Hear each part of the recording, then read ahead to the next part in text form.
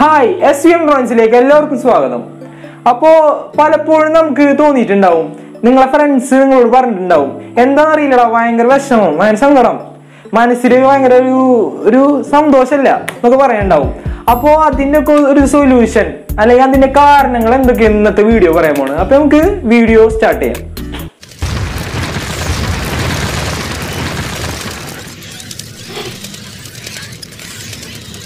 ഫസ്റ്റത്തെ കാര്യം എന്താ വെച്ചാൽ നിങ്ങൾ എപ്പോഴും യെസ് പറയേണ്ടി വരും. പല സാഹചര്യത്തിൽ ഇപ്പം നിങ്ങളെ റിലേറ്റീവ്സ് അല്ലെങ്കിൽ നിങ്ങളെ ഫ്രണ്ട്സ് ഒക്കെ എന്തെങ്കിലും നിങ്ങൾക്ക് ഇഷ്ടമില്ലാത്ത കാര്യങ്ങൾ പറയുമ്പോഴും നിങ്ങൾ യെസ് പറയേണ്ടി വരും. അതിന് വരാൻ ഇടക്കൊക്കെ ഒന്ന് നോ പറയാം. എന്നുവെച്ചാൽ നിങ്ങൾക്ക് ഇഷ്ടമില്ലാത്ത എന്തെങ്കിലും ഒരു കാര്യം ചെയ്യേണ്ടി വന്നെന്ന് വെച്ചോ. അപ്പോൾ നിങ്ങൾ അതിനെ നോ പറഞ്ഞ് നിങ്ങൾക്ക് പറ്റില്ല അല്ലെങ്കിൽ ചെയ്യാൻ കഴിയില്ല എന്ന് പറഞ്ഞാൽ മതി. അപ്പോൾ നിങ്ങൾക്ക് ഇത്തിരി സന്തോഷം ലഭിക്കും. അല്ലെങ്കിൽ നിങ്ങൾ കഷ്ടപ്പെട്ട് അത് ചെയ്യണ പോലെ ആയിരിക്കും വരാം. ഇപ്പോൾ ഒരു എക്സാമ്പിൾ പറയുകയാണെങ്കിൽ നിങ്ങൾക്ക് നിങ്ങളെ ജീവിതത്തിൽ ഒരു ഇമ്പോർട്ടന്റ് എക്സാം ഒരു ഫൈനൽ എക്സാം നടക്കാൻ വെച്ചോ. അതിന്റെ തലേന്ന് നിങ്ങളെ ബെസ്റ്റ് ഫ്രണ്ടിന്റെ ബർത്ത്ഡേ ഫ്രണ്ട് ഇങ്ങനെ വിളിക്കണ്. എടാ ഇവിടെ കേക്ക് ഉണ്ടാ മിഠായി ഉണ്ടാ വാടാ എന്നിട്ട് ചങ്ക വാടാ എന്നിട്ട് വിളിക്കണ്. അപ്പോൾ നിങ്ങൾ എക്സാമിന് വേണ്ടി ഇരുന്ന് പഠിക്കുമോ അതോ ബർത്ത്ഡേ പാർട്ടിക്ക് പോകുമോ എന്നുള്ളത് കമന്റ് ചെയ്യുക അപ്പോൾ ഇത് പറഞ്ഞ എന്തിനാന്ന് വെച്ചാൽ നിങ്ങൾ ഇപ്പോൾ ബർത്ത്ഡേ പാർട്ടിക്ക് ഇത് എക്സാമിനുള്ള പഠിക്കാണ്ട് നിങ്ങൾ ബർത്ത്ഡേ പാർട്ടിക്ക് പോയി കഴിഞ്ഞാൽ നിങ്ങൾക്കൊരു സമാധാനം ഉണ്ടാവില്ല. അഥവാ നിങ്ങൾ ബർത്ത്ഡേ പാർട്ടിക്ക് പോവാണ്ട് എക്സാമിന് വേണ്ടി പഠിക്കുകയാണെങ്കിലും നിങ്ങൾക്കൊരു സമാധാനം ഉണ്ടാവില്ല ബർത്ത്ഡേ പാർട്ടിക്ക് പോകാത്തതുകൊണ്ട് അപ്പോൾ ഇതെന്റെ ഒരു അഭിപ്രായമാണ് പിന്നെ ഇത് പറഞ്ഞത് എന്തിനാന്ന് വെച്ചാൽ നിങ്ങൾ മനസ്സിലാക്കുക എപ്പോഴെങ്കിലും ഒരു നോ പറയണം. ഇപ്പം നിങ്ങളോട് ഫ്രണ്ടിനോട് പറയാം എക്സാം ആടാ നാളെ എക്സാം ആണ്. എനിക്ക് വരാൻ പറ്റില്ല സീനാണെന്ന് പറയാം. അപ്പോൾ അങ്ങനെ ഇപ്പോൾ ബന്ധം അങ്ങനെ ഫ്രണ്ട് വേണ്ട നിൽക്കുകയാണെങ്കിൽ പോട്ടെ നിൽക്കണം നമുക്കൊരു അത്യാവശ്യ കാര്യത്തിന് പറഞ്ഞ് മനസ്സിലായില്ലേ വേണ്ട നിൽക്കാം നമുക്ക് അത്യാവശ്യം ഇപ്പം എന്താ എക്സാം അപ്പോൾ നിങ്ങൾ എപ്പോഴും ജീവിതത്തിൽ നോ പറയാൻ പഠിക്കുക. ഒന്നാമത്തെ കാര്യം. നമ്മളെപ്പോഴും ഓരോന്നിനെ പറ്റിയിട്ട് പരാതിപ്പെടുന്നവരാണ് നമ്മൾ എല്ലാത്തിനെയും പരാതിപ്പെടുന്നതിന് പകരം നമ്മളതിൽ ഉള്ള കാര്യം എന്താണെന്ന് ആലോചിക്കുക ഇപ്പോൾ ഓരോരുത്തർ പരാതിപ്പെടുന്ന നമ്മളിൽ എന്താ മുടിയില്ല സൗന്ദര്യമില്ല അല്ലെങ്കിൽ പൈസ ഇല്ല എന്നൊക്കെ പറഞ്ഞിട്ടാണ്. ചില പൈസയും മുടിയും പണമൊക്കെ ഉള്ള ഒരു പരാതി പറഞ്ഞ ഒരു സന്തോഷം കിട്ടില്ല പറഞ്ഞിട്ട് ഇപ്പൊ എന്ത് പൈസ ഉണ്ടായാലും കാര്യമൊന്നുമില്ല. ആ ഒരു സന്തോഷം കിട്ടിയില്ലെങ്കിൽ പിന്നെ കാര്യമില്ല. തന്നെ നിങ്ങളുടെ കയ്യിലൊരു ഇപ്പൊ ദേ എന്റെ കാര്യം പറയാം.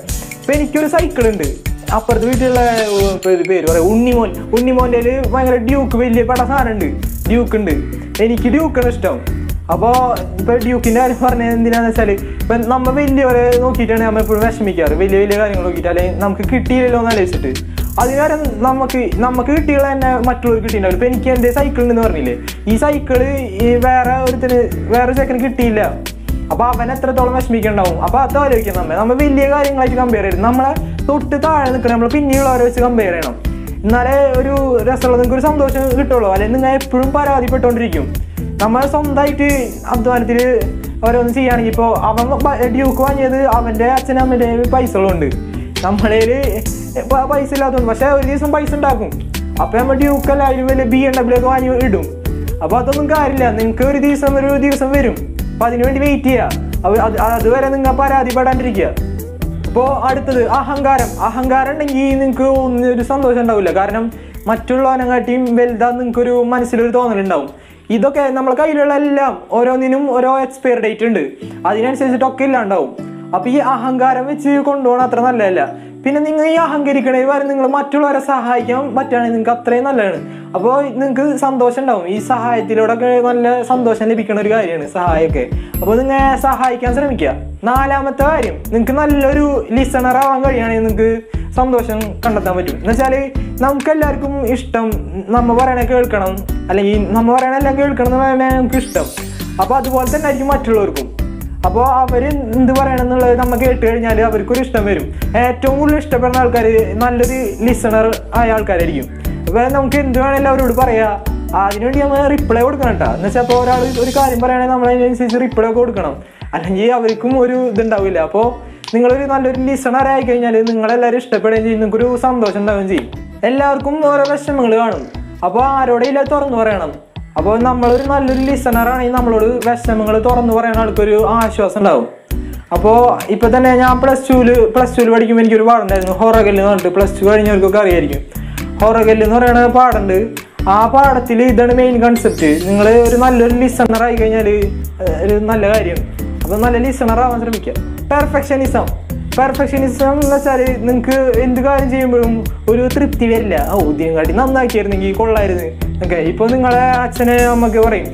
നിങ്ങൾക്ക് നൂറിൽ തൊണ്ണൂറ്റെട്ട് മാർക്ക് കിട്ടിയെന്ന് വെച്ച് കഴിഞ്ഞാൽ നിങ്ങൾ അച്ഛനെ അമ്മയ്ക്ക് പറയും.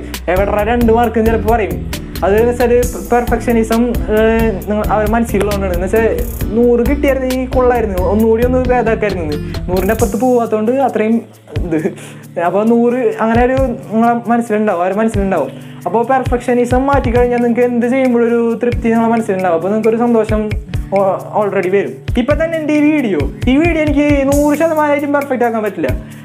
അല്ലെങ്കിൽ ഇപ്പോൾ ഈ ലോകത്തുള്ള എല്ലാവർക്കും ഈ വീഡിയോ ഇഷ്ടപ്പെട്ടണമെന്നില്ല അതൊക്കെ അറിഞ്ഞിട്ട് തന്നെ നമ്മൾ ഇതിറക്കുക എന്ന് വെച്ചാൽ ഏറ്റവും ബെസ്റ്റ് ആക്കാൻ പറ്റും. ഏറ്റവും നമുക്ക് പറ്റുന്ന ഏറ്റവും ഹൈ ആക്കാൻ പറ്റും. അല്ലാതെ പെർഫെക്റ്റ് ആയിട്ട് കൊണ്ടുവരാൻ പറ്റില്ല. അങ്ങനെ നോക്കുകയാണെങ്കിൽ ഈ വീഡിയോ ഇറക്കാൻ പറ്റില്ല. അപ്പോൾ നമ്മൾ പെർഫെക്ഷൻ അല്ല നോക്കണ്ടേ. നമുക്ക് നമ്മളെ കൊണ്ട് എത്ര നമ്മളെ പരമാവധി എത്ര പറ്റുമോ അത് നോക്കണം. അപ്പോൾ നിങ്ങൾക്ക് അതിൽ തന്നെ ഒരു സന്തോഷം കണ്ടെത്താൻ പറ്റും. നിങ്ങൾ ചെയ്യണ കാര്യത്തിൽ അപ്പോ മറ്റുള്ളവരെ എന്ത് ചിന്തിക്കും? മറ്റുള്ളവർ ചിന്തിക്കണം നമ്മൾ നോക്കണ്ട. മറ്റുള്ളവർ പലരും പല രീതിക്കാണ് ചിന്തിക്കുക. ഇപ്പോൾ നമ്മൾ ഒരു കാര്യം ഒരു വിഷയം എടുത്തിട്ട് കഴിഞ്ഞാൽ അവർ അവരുടെ രീതിക്ക് പല രീതിക്ക് ചിന്തിക്കും. അപ്പോ നമ്മൾ നമുക്ക് ശരി എന്താന്ന് തോന്നുന്നത് നമ്മൾ ചെയ്യുക അവർ പലരും പലരും ചിന്തിക്കണത് ചിന്തിച്ച് നിൽക്കണേ അവിടെ നിൽക്കേണ്ടി വരും. അപ്പോൾ അതിന് പകരം നമ്മ നമുക്ക് ശരിയാന്ന് തോന്നുന്നത് ചെയ്യുക ഇതിലൊരു ഹോബി കണ്ടെത്തുക നിങ്ങൾ വെറുതെ ഇരിക്കുമ്പോഴാണ് നിങ്ങൾക്ക് ഇങ്ങനെ സാഡായിട്ട് ഇങ്ങനെ വിഷമത്തിലിരിക്കാൻ തോന്നുന്നത്. അപ്പോൾ ഒരാൾ വന്ന് നിങ്ങൾ വെറുതെ ഇരിക്കുമ്പോൾ ഒരാൾ ചോദിക്കും "ഏ, എന്താണ് വിഷമത്തിരിക്കണത്? അപ്പോൾ നമ്മളെ മൂടാണ്ട് പോകും. അപ്പോൾ ഈ വെറുതെ ഇരിക്കണതിന് പകരം നിങ്ങൾ എന്തെങ്കിലും ഒരു ഹോബി കണ്ടെത്തുക അതാണ് ഇതിന്റെ മെയിൻ കാര്യം കേട്ടോ ഹോബി നിങ്ങൾ കണ്ടെത്തുക അപ്പോൾ നിങ്ങൾ ഏറ്റവും കൂടുതൽ ചെയ്യണ കാര്യം അതാണ് നിങ്ങളെ ഹോബി അല്ലെങ്കിൽ നിങ്ങൾക്ക് അങ്ങനെ ഒരു ഹോബി നിങ്ങൾ കണ്ടെത്താം. ഇങ്ങനെ ഒരു ഹോബി ഉണ്ടാക്കുക ബുക്ക് വായിക്കല. അല്ലെങ്കിൽ ഇപ്പോൾ അങ്ങനെ ഓരോ ഹോബികൾ ഉണ്ടാവുമല്ലോ. അത് നിങ്ങൾ കണ്ടെത്തിയിട്ട് നിങ്ങൾ അതിനനുസരിച്ച് പ്രവർത്തിക്കുക. അപ്പോൾ നിങ്ങൾക്ക് എപ്പോഴും സന്തോഷം വരും. സന്തോഷം ഉണ്ടാക്കും അത് നിങ്ങൾക്ക് അറിയണതാണ്. നല്ലൊരു ഹോബി ഉള്ളവർക്ക് എപ്പോഴും നല്ലൊരു സന്തോഷമായിട്ട് ഇരിക്കാൻ പറ്റും. അപ്പോൾ നിങ്ങൾ നല്ലൊരു ഹോബി കണ്ടെത്താൻ നോക്കാം ഞാൻ ആദ്യം മുതൽ എന്താ പറഞ്ഞത്? നിങ്ങൾക്ക് ഒന്ന് ഓർത്തെടുക്കാൻ വേണ്ടിയിട്ട് ഞാൻ ചുരുക്കി പറയാം. ഞാൻ ആ ഫസ്റ്റ് കാര്യം പറഞ്ഞത് എന്താ വെച്ചാൽ നിങ്ങൾ എപ്പോഴും യെസ് പറയണതിന് വരെ നോ പറയാം. നിങ്ങൾ മറ്റുള്ളവർക്ക് വേണ്ടി ഇതായി നിങ്ങളെ ഇമോഷൻസ് ഒന്നും കൊടുക്കരുത്. നിങ്ങൾക്ക് ഇഷ്ടമുള്ള നിങ്ങൾ ചെയ്യുക. പിന്നെ രണ്ടാമത് പറഞ്ഞതെന്ന് വെച്ചാൽ നിങ്ങൾ പരാതിപ്പെടാതിരിക്കുക. എന്ത് കാര്യത്തിനും പരാതി ഇല്ലാതിരിക്കുക എപ്പോഴും നിങ്ങൾ ഓരോന്നിനും പരാതിപ്പെടാതെ നിങ്ങളുള്ള കാര്യങ്ങൾ വെച്ച് നിങ്ങൾ സന്തോഷിക്കാൻ ശ്രമിക്കുക. മൂന്നാമത്തെ കാര്യം ഞാൻ എന്താ പറഞ്ഞതെന്ന് വെച്ചാൽ നിങ്ങൾ ഒരു അഹങ്കാരം ഇല്ലാതിരിക്കുക അഹങ്കാരമില്ലാതെ നിങ്ങൾ നിങ്ങളെ കൊണ്ട് പറ്റണ സഹായമൊക്കെ മറ്റുള്ളവർക്ക് ചെയ്യുക. പിന്നെ നാലാമത്തെ കാര്യം എന്ന് വെച്ചാൽ നല്ലൊരു ലിസണർ ആവുക. പ്രശ്നങ്ങളും കേൾക്കാൻ വേണ്ടി തയ്യാറായിട്ട് നല്ലൊരു ലിസണർ ആവാൻ ശ്രമിക്കുക. പിന്നെ നമ്മളെ കാര്യങ്ങൾ മാത്രം അവരോട് പറയണതിന് പകരം അവർ പറയണതൊക്കെ കുറച്ചൊക്കെ നമ്മൾ കേൾക്കാൻ ശ്രമിക്കുക പെർഫെക്ഷനിസം പെർഫെക്ഷനിസം വന്നു കഴിഞ്ഞാൽ നിങ്ങൾക്ക് അറിയണം ഞാൻ പറഞ്ഞ പോലെ തന്നെ എപ്പോഴും എന്ത് കാര്യം ചെയ്യുമ്പോഴൊരു പെർഫെക്റ്റ് ആയിട്ടില്ല എന്നൊരു ചിന്ത നിങ്ങളെ മനസ്സിൽ വരുത്തും അത് പിന്നെ ആറ് മറ്റുള്ളവർ എന്ത് വിചാരിക്കും? മറ്റുള്ളവർ എന്ത് വിചാരിക്കും നമ്മൾ ചിന്തിക്കാണ്ടിരിക്കുക. നമ്മൾ നന്ന് പോസിറ്റീവായിട്ട് തിങ്ക് ചെയ്യുക. പിന്നെ മറ്റുള്ളവർ പലരും പല രീതിക്കാണ് അത് നമ്മൾ വിടാം. നോ ഹോബി ഹോബി ഇല്ലാത്ത നിങ്ങൾക്കൊരു വിഷമോ സ്വാഭാവികമായി ഉണ്ടാക്കും അപ്പോൾ എന്തെങ്കിലും ഒരു ഹോബി ഇന്ന് തന്നെ കണ്ടെത്തുക ഇപ്പം തന്നെ കണ്ടെത്തുക. അപ്പോൾ നമുക്ക് ഈ വീഡിയോ ഇവിടെ അവസാനിപ്പിക്കാം. അപ്പോൾ നിങ്ങൾക്ക് ഈ വീഡിയോ ഇഷ്ടപ്പെട്ട് കഴിഞ്ഞാൽ ലൈക്ക് ചെയ്യുക സബ്സ്ക്രൈബ് ചെയ്യുക. പിന്നെന്താ നിങ്ങൾക്ക് ഞാൻ നേരത്തെ ഒരു ചോദിച്ചിട്ടുണ്ടായിരുന്നു അതിന് കമന്റ് ബോക്സിൽ ഉത്തരം രേഖപ്പെടുത്താം പിന്നെ അപ്പോൾ നമുക്ക് അടുത്തൊരു നല്ലൊരു വീഡിയോ ചെയ്യാൻ വരാം.